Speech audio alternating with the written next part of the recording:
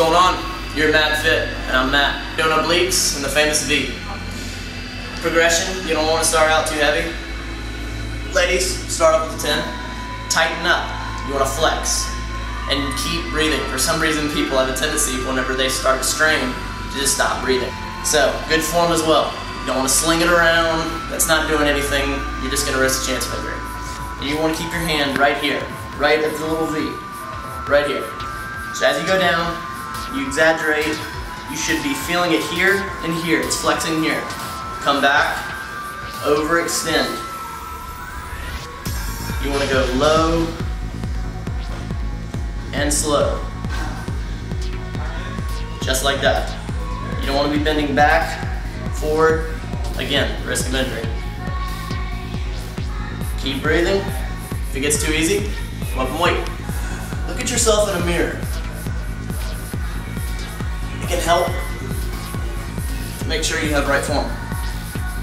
This is something that you can do every day. Sort of a mystery that abs can only be done every other day like every other muscle group, but they are very, very fast to recuperate.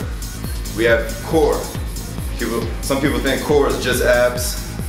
Core consists of front abs, six pack, obliques, transverse abs, inner abs, and lower back. If you get a strong core, that'll make everything else easier. As you're running, a lot of people catch back cramps.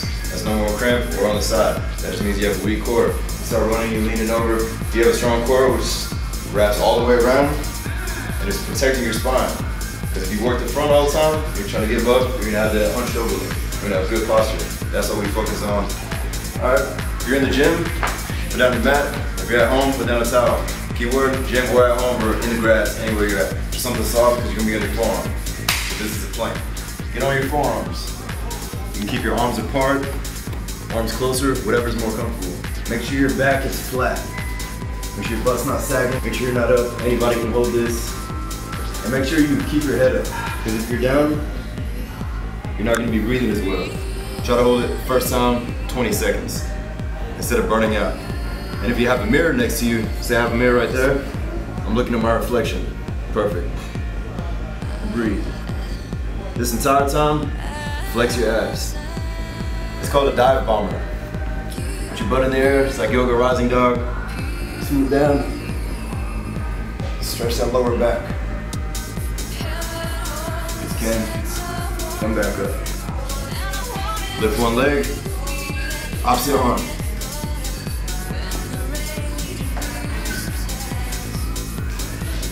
We're gonna focus on obliques. We're still doing the plank, just this time it's gonna be side plank. Whatever side is on bottom, left side is on bottom, that's the side gonna be working. It's that V. Get on your forearm, hand on your hip. Make sure your feet don't slip. You might wanna put a weight or an extra towel or anything, just so you don't slip. Get up. Try to come as high as possible. If I just sit up halfway, still feeling it, but over exaggerate. Once I come to the top, kind of make a triangle. I feel it right here, it wraps around my lower back. You're gonna come down, don't touch the ground, go as low as you can. My hips almost on the ground, extend.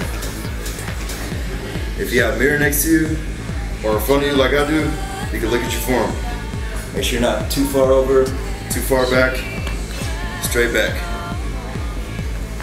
This is just like when you had the weights. Once this gets too easy, on the last one, you can hold it at the top. At this portion, once you have a strong core, arm in the air, nice Pilates. Act like you're gonna hug yourself. Sounds funny, just wrap around. Try to go as far as you can. Curve back up.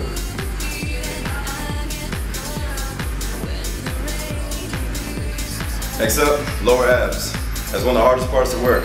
Everyone's six pack really starts at the top. Then you look at some people, they have the first three, but they don't have the bottom. So you're flat on the ground. The key to this, keep your chin up. The second your chin comes up, your abs are already flexing. Put your arms straight out. Every time you pump up, breathe. Two, three, four, five. And when you're pumping, we're not going all the way up. We're just gonna pump enough. It's just like a crunch, but you're gonna feel this a lot more. Arms out, arms helping you balance. On your fifth crunch, fifth, sit all the way up. And this is working your lower abs, and you're gonna stretch your hamstrings, work on flexibility. We like to come out here for workouts, not just work on muscle. We crunch, we set up, lean over, on the way back, we're gonna work your transverse abs and your lower back. Chest up, back straight. Come back as slow as you can. You're trying to get each part of your spine to hit the ground.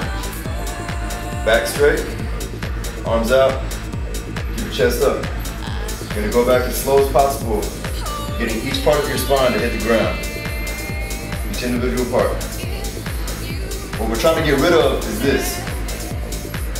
Don't drop. You're gonna fight it, fight it, get rid of that drop. So come back slowly, breathe. Get a med ball, ladies, six or eight pound, fellas, 12 pounds, 15 pounds, maybe even a 20. On the front, twist. If you feel like it's not really working, look over at each side that you turn to. If I'm turning to the left, I'm gonna act like I'm putting the ball behind me.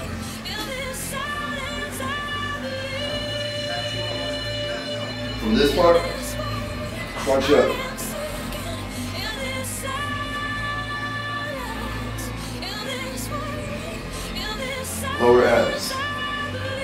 Personally, I like to keep it on my chest so I'm not cheating.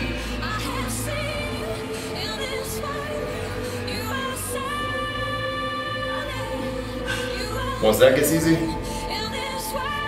twist.